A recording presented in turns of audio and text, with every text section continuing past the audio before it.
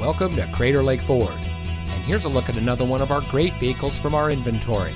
It comes equipped with Apple CarPlay, rain sensitive windshield wipers, four wheel drive, seat memory, steering wheel controls, privacy glass, leather seating, electrochromatic rear view mirror, navigation, remote start system, and has less than 50,000 miles on the odometer.